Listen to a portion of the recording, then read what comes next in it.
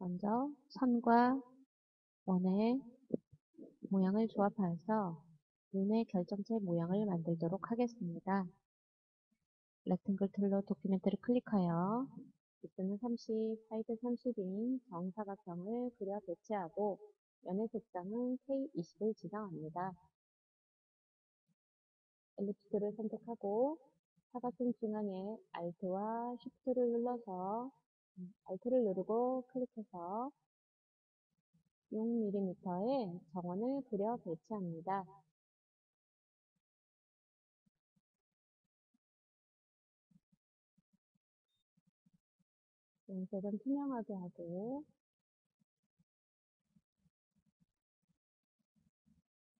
테두리는 흰색을 지정한 후에 두께는 포인트를 먼저 지정하겠습니다.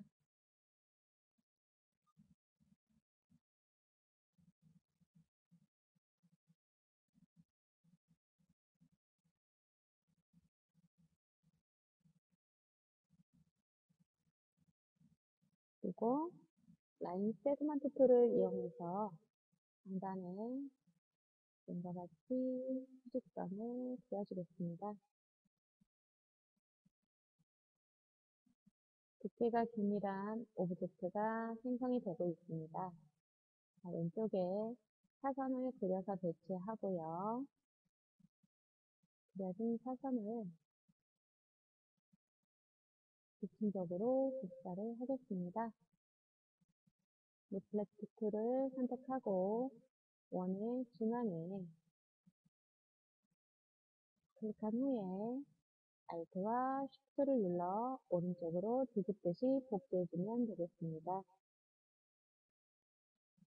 굳이 대화 상자를 띄우지 않고도 빠르게 작업을 수행할 수 있는 방법입니다.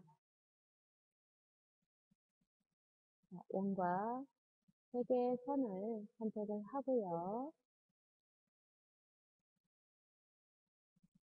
선의 두께가 이제 균일하게 5포인트입니다. 선을 면으로 확장하기 위해서 Object Path에 Outline Stroke를 클릭해 줍니다. 그 다음 상단에 화면을 중앙에서부터 그려 그림과 같이 배치를 해줍니다. 양색은 동일하게 흰색으로 지정을 하면 되겠습니다.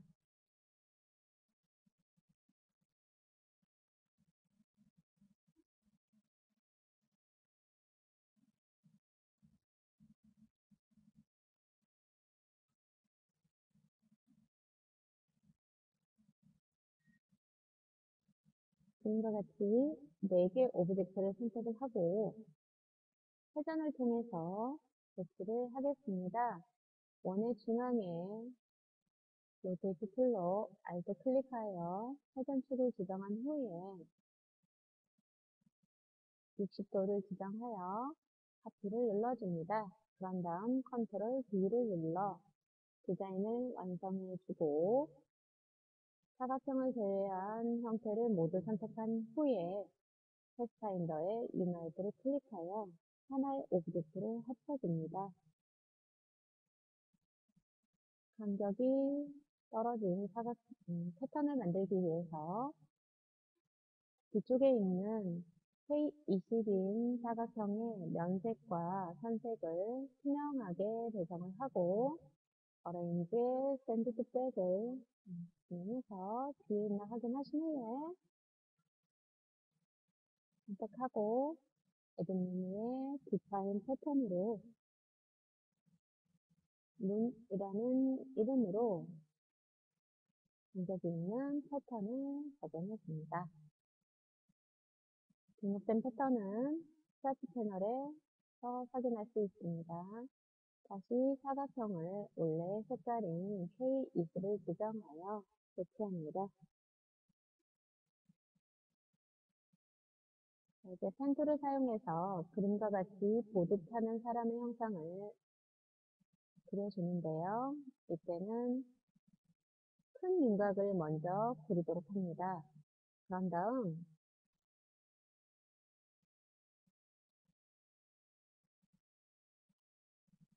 안쪽에 그림처럼 작은 윤곽을 그려 채워 넣으시면 되겠습니다. 그림의 순서가 중요한데요.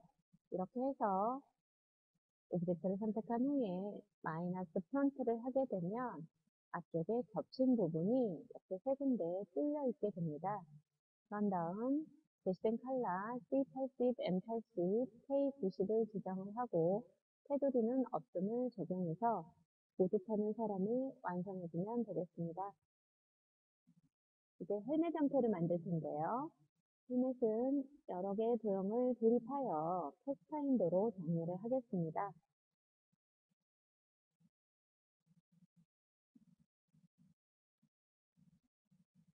그림과 같이 배치를 하겠는데요.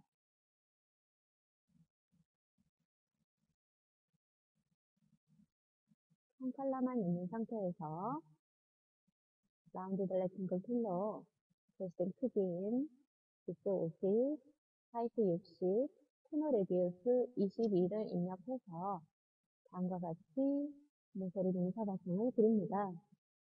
Rotate Tool을 더블 클릭해서 마이너스 25도를 입력하여 회전하고 여기에 헬멧 앞모양을 만들어주기 위한 둥근 사각형을 그려서 그림과 같이 조절점을 해결하고 배치하시면 되겠습니다.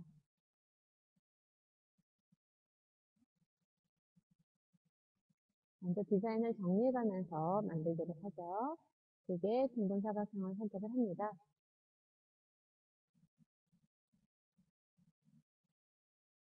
Pathfinder에 Minus Front로 앞부분을 빼주고요. 그다음에 나머지 형태를 만들기 위해서 Line Segment Tool로 하단에 그림과 같이 사선을 그려 배치를 합니다. Divide를 할 거예요.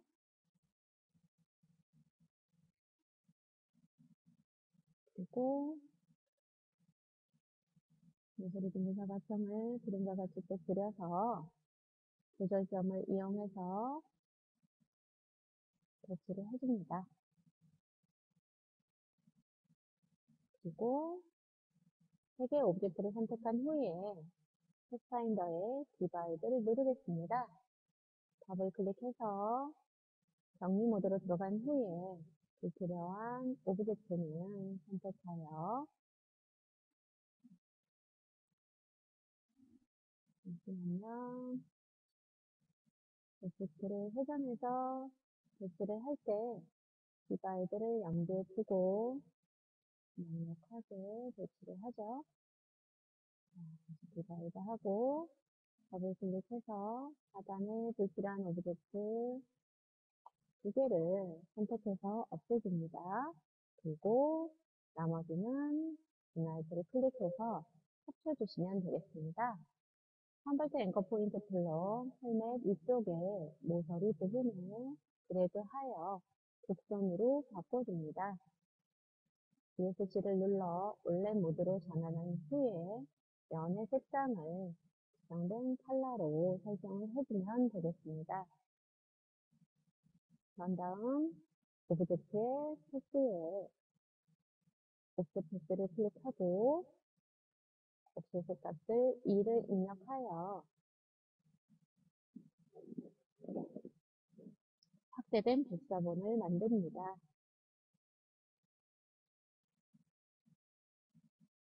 안쪽에 원래 있던 object를 선택하고 gradient를 만들 텐데요.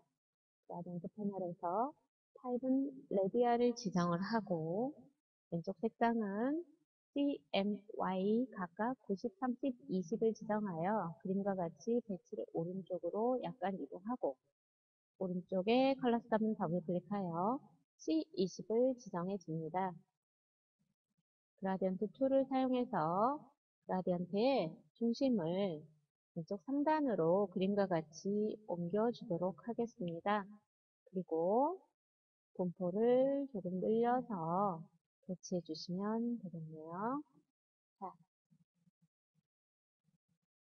이런 후에 이제 헬멧 안쪽에 패턴을 겹쳐서 배치하기 위해 먼저 헬멧 모양 선택되어 있을 때 Control C를 눌러 복사하고 Control F를 눌러 앞에 붙여넣기를 합니다. 그리고 스와치에서 눈이라는 이름으로 저장된 패턴을 클릭하여 적용을 하겠죠. 패턴의 크기를 줄이기 위해서 Tool을 더블 클릭합니다. Uniform을 30%를 입력하고 옵션에선 반드시 Object 체크를 풀어야 된다는 거 잊지 마시고요. 특별히 선이나 effect가 적용된 경우에는 이쪽에 옵션도 체크를 하거나 풀거나를 염두에 두셔야 됩니다. 지금은 무관하겠습니다. 패턴에 체크되어 있을 때 30%를 지정하여 패턴을 축소합니다. 그런 다음 오펙트를 70%로 조절하여 불투명도를 조정하겠습니다.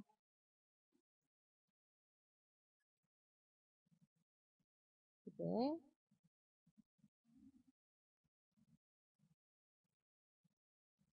헬멧 하단에 끈과 고리 모양을 만들어 보도록 하겠습니다.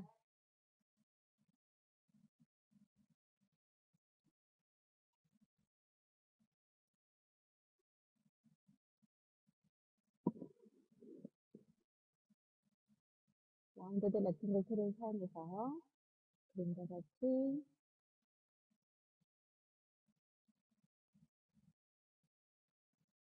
모서리 둥근 사각형을 하나 그려서 배치하고요.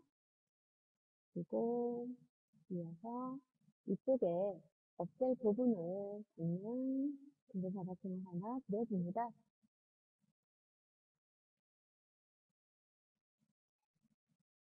radius를 조금만 더 조절하죠.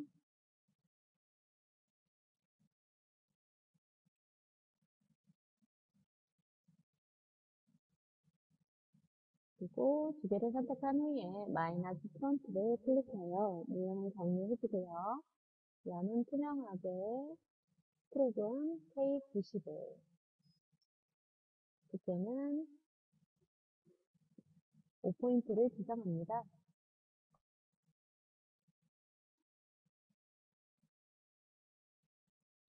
회전을 위해 Rotate를 더블 클릭하여 마이너스 45도를 입력하고 만약에 패턴에만 적용 클릭이 되어 있다 그러면 object가 회전이 안 될 수가 있어요. 이때 반드시 Object에 체크하는 거 잊지 마시고요.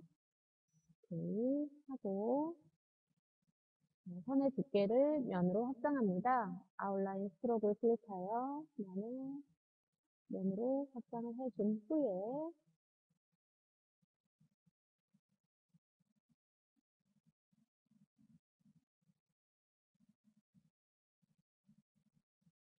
눈으로 부딪히를 하고요. 자, 이제 헬멧 모양과 고리 모양을 연결하는 끈을 그림과 같이 그려줍니다.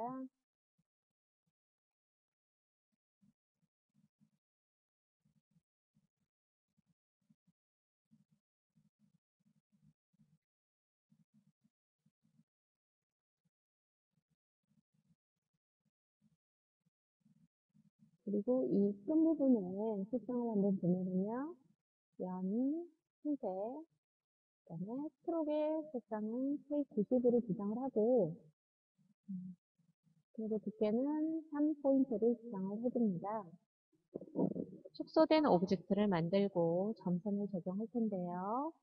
Object의 Path에 Offset Path를 클릭, 클릭하고 마이너스 1을 입력하여 축소된 path를 만듭니다. 두께는 1포인트로 적용을 하고요. 그렇게 Dashed Line을 체크한 후에 Dash는 2포인트를 지정하여 균일한 점선을 적용합니다.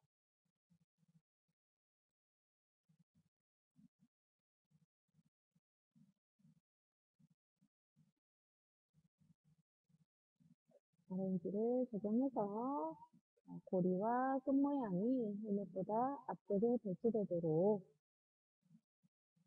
해주시면 되겠습니다.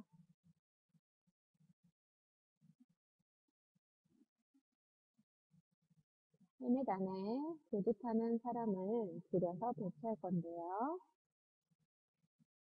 타는 형상을 선택을 하고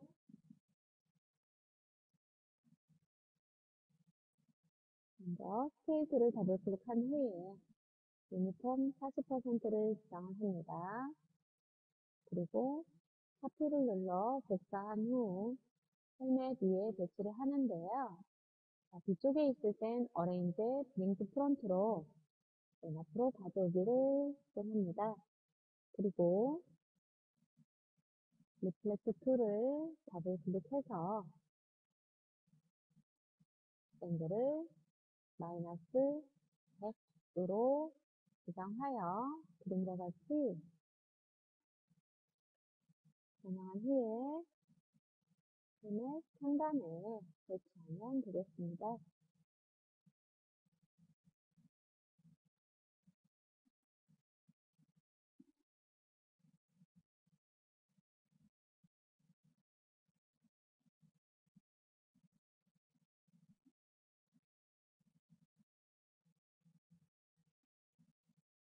타이틀을 선택하고 그땐 Arial Bold 9포인트 면 K 패딩 Extreme Sports를 입력해 줍니다.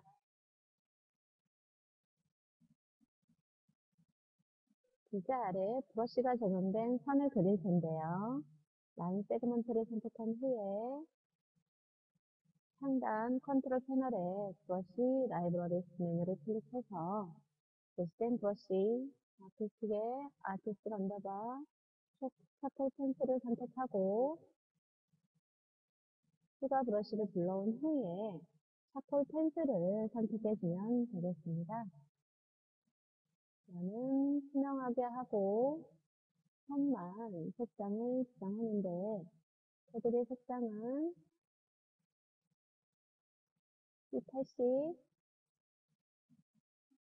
C80 M20을 지정하면 되겠습니다. 두께가 1포인트일 때 Shift를 누르고 Extreme Sports 하단에 수평선을 만들어 줍니다. Extreme Sports 문자함께 선택을 하고 Rotate 툴을 더블 클릭한 후에 Angle을 8을 적용하여 그림과 같이 회전하고 배치합니다.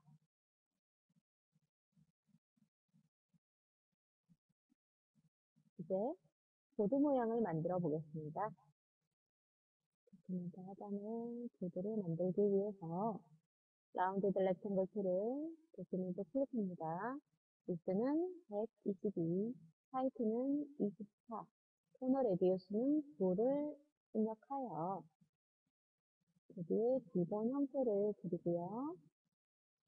변형을 위해서 점을 추가하겠습니다. Object Path에 Add Anchor Point를 클릭하여 고정점을 9를 추가한 후에 Direct Selection 툴로 중앙에 있는 두 개의 고정점을 선택합니다.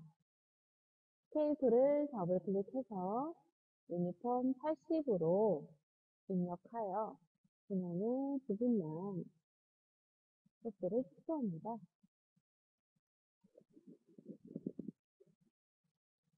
툴로 document 상단에 눈 결정체 모양을 선택하고 자, 보드 안에 배치를 해보겠습니다. 회전하여 copy를 하든 scale을 조정하든 먼저 Control C를 눌러 Control V로 붙여넣기를 하면 어레인지에서 브링크 폰트를 할 필요가 없겠죠. 흰색이라 구별이 안 되므로 보드의 색상을 비밀 색상을 지정하겠습니다. 빈 결정체를 붙여넣기를 했습니다. Rotate 툴을 더블 클릭해서 30도로 회전을 하고요. 보드 왼쪽, 보드 왼쪽을 지금과 같이 배치를 합니다. 그리고 툴을 더블 클릭해서 30%를 입력하여 Copy를 눌러 확대 복사한 후에 보드의 오른쪽 부분에 지금과 같이 배치하면 되겠습니다. document 상단에 도약하는 사람을 다시 선택한 후에 Control C, Control V로 복사를 하여 붙이고 툴을 더블 클릭해서 70%로 축소를 합니다. Rotate를 더블 클릭해서 45도로 회전을 한 후에 눈 결정체, 오른쪽 눈 결정체와 일부 겹치도록 그림과 같이 배치를 하고 색상은 system color C50 M80를 지정해주면 되겠습니다.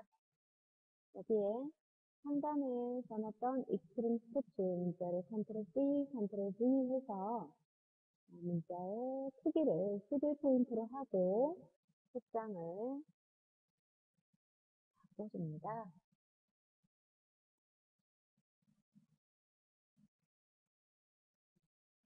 색상은 C100, M100, Y20, K20을 지정을 하면 되겠습니다. 자, 그리고 보드 하단에 Snowboarding이라는 글자를 입력을 하고 글쓴 색상대로 음, 설정을 하시면 되겠습니다. 자, 이제 마스크를 지정할 텐데요. 보드 형태를 선택하고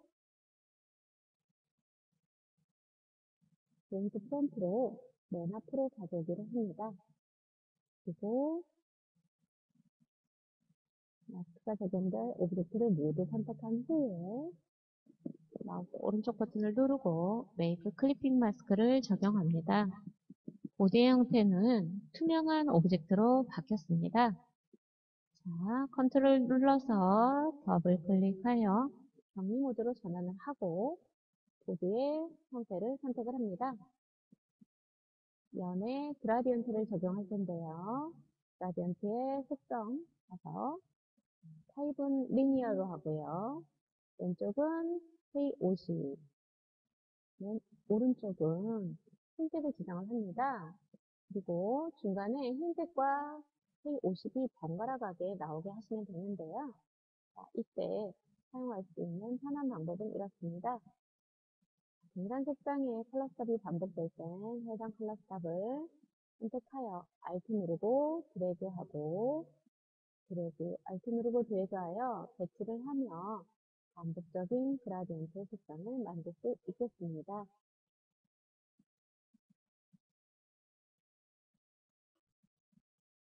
stroke 컬러는 지정된 컬러 지정하고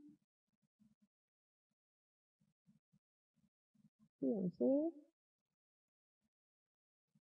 M80 지정한 후에 스트로게 두께는 4포인트를 설정을 해주면 되겠습니다. ESC를 눌러 올레 모드로 전환을 하고요. 이펙트의 스타일라이즈에 드랍도우로 그림자 효과를 적용을 합니다.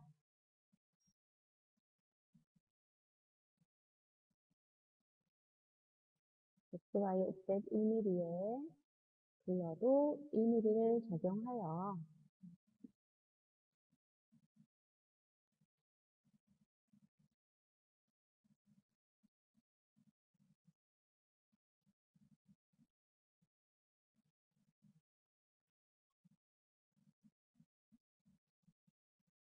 는 완성을 하겠습니다.